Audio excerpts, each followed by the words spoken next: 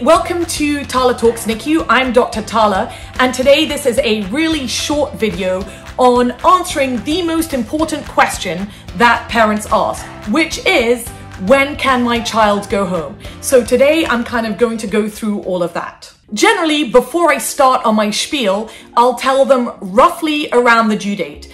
In babies that have older gestational ages, then that can be a couple of weeks before the due date, and in the micro preemies, it can be several weeks after the due date. But kind of the due date is a good rough guide. But more importantly, I'll add that there really isn't a gestational age a baby has to be to be able to go home.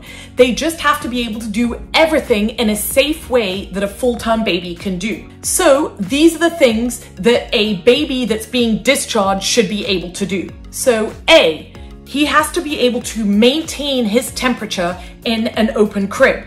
Generally, babies need one more layer than what you're wearing. So they have to be able to maintain their temperature and for example just like a little onesie and maybe pajamas on top of that they can't have like eight sheepskin blankets and hats and whatever else on top of them to maintain their temperature b they have to be able to feed in a safe way so not having brady's and dsats and everything whilst they're feeding this may end up being with a gastric tube for them to go home on. C, they have to feed enough to show sufficient weight gain, especially if they are in an open crib. Remember, when a baby is in an open crib, they have to use a little bit more energy to stay warm. So if they're using all their energy to stay warm, they might not be gaining weight. So we have to show that in an open crib with a baby eating that set volume, the baby is gaining weight.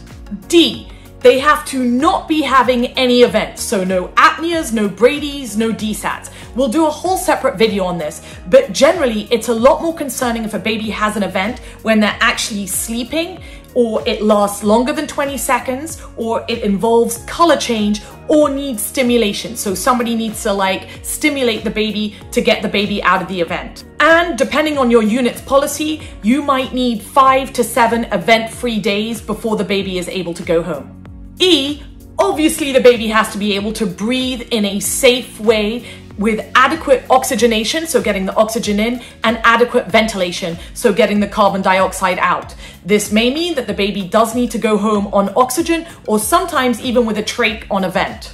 F, pass the car seat test. So if a baby was born small or premature, we have to show that they are stable and safe sitting in a car seat. So basically what that involves is putting them in a car seat on a monitor for 90 minutes and making sure that their neck has enough strength to keep their chin up. Sometimes the chin can kind of drop forward and block the airway and that will cause apneas, Brady's and DSAT. Generally, the smallest car seats that are made, and there are a few exceptions, are made for infants that are four pounds or more, which is about 1800 grams. So many units don't let babies go home until they are at least four pounds pounds. B, the caretakers of the baby have to show their ability to be able to take care of the baby at home.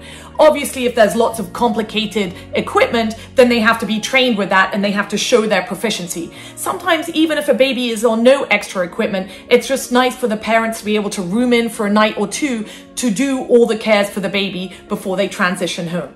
H, and this one's a bit obvious, the baby has to be over whatever brought them into the unit in the first place, whether it was hypoglycemia or rule out syphilis or sepsis or pneumonia or whatever else. They have to be completely treated from that by the time that they go home. So that's pretty much what I always tell parents when they are asking me when their kids can go home.